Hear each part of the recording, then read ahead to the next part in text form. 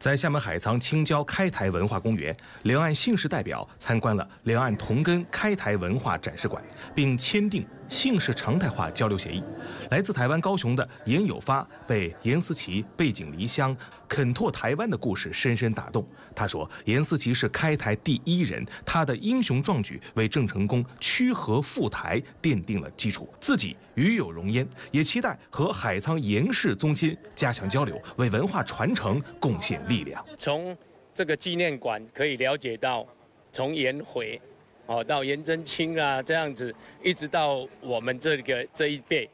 那。”说实在话，这个历史我一定要继续传承给我的下一代。随后，嘉宾们前往青椒慈济祖宫，参加两岸河边保生大地文化志启动仪式，期盼以姓氏文化为媒，共同弘扬中华文化，进一步促进两岸同胞心灵契合。个人从事书画的创作三十几年，所以这次也是代表台湾的书画家上上台，呃，即兴创作。那让很多台湾的乡亲透过这个民间文化的交流，找到了他们的根，呃，找到了他们的这个源头。在集美两岸融合发展中心和福建省连横文化研究院，嘉宾们了解了台湾爱国诗人连横先生的生平事迹，以及他创作《台湾通史》的历程。台湾林氏宗亲感慨，此行不仅加深了宗亲感情，更增强了对祖国的认同感。我觉得是非常有这种荣誉感在心中的。在这个过程中呢，如果未来能够有更多的机会，让两岸的，尤其是青年学子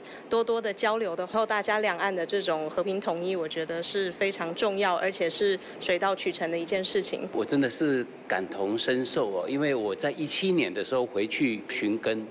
我进入我们那个祠堂，有三百多年的祠堂的时候，我真的是泪流满面。有百分之八九十以上的祖籍都是在大陆。如果能够让这些人也都能够有机会回来像这样的交流，